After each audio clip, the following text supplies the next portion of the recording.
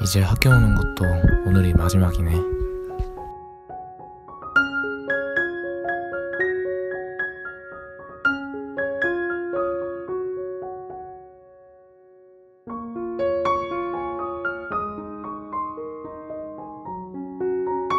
기억나?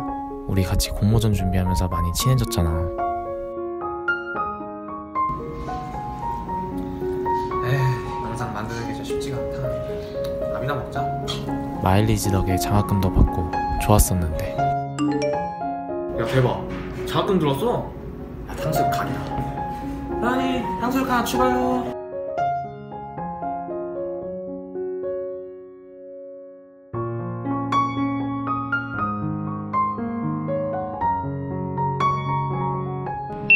바뀌어버린 삶에 지쳐서 무기력해질 때도 있었잖아.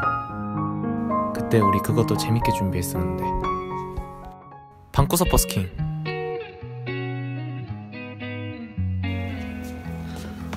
준비됐어? 떨린다 씨. 간다. 3, 2, 1, 오케이 고! 안녕하세요 이번 강, 방구석 버스킹에 나오게 된 컴퓨터공학과 16학번 이상윤이라고 합니다 시작하겠습니다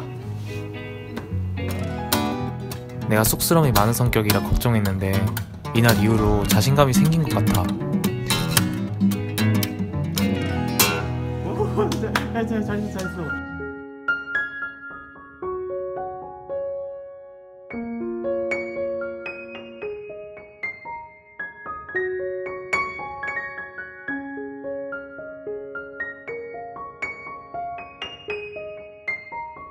나 학년 막바지에 취업 준비한다고 정신 없었잖아.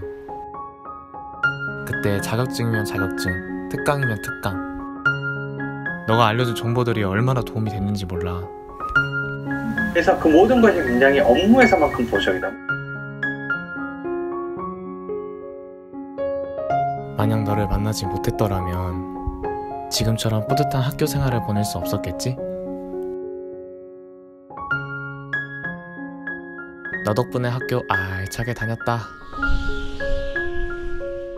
고마워, 윈드.